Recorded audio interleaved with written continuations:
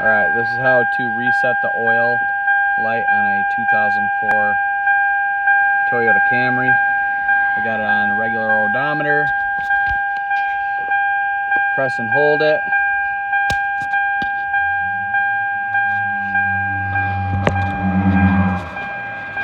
And then, hang on, I gotta turn it on really quick.